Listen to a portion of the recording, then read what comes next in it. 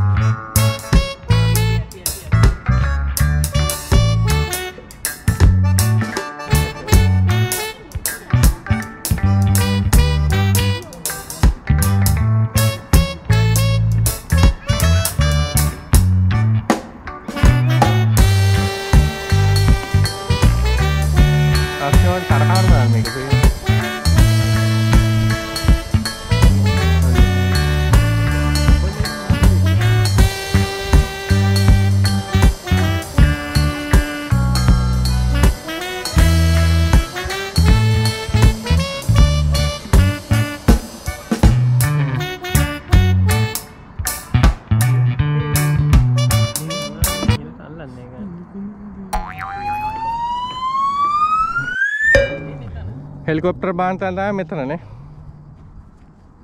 ඉතින් කොහොමද මේ කන්දේ පඩි පෙළවල් හදලා ඔක්කොම කරලා චොපර් බාන්නත් දැන් හදලානේ. ඉස්සු වැදෙනවා.